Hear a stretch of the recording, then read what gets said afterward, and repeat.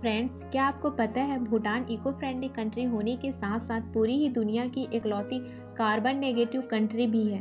पर सवाल ये है कि आखिर कार्बन नेगेटिव कंट्री होती क्या है? डोंट वेरी मैं आपको बताती हूँ। इसका मतलब है कि भूटान जितनी CO2 प्रोड्यूस करता है, उससे कहीं गुना ज़्यादा वहाँ के फॉरेस्ट CO2 को एब्जॉर्व कर लेते हैं। जो कि हमारे इन्वायरमेंट के लिए बहुत अच्छी बात है। पर यह सब पॉसिबल हो पाया है वहाँ के लोगों की सोच की वजह से।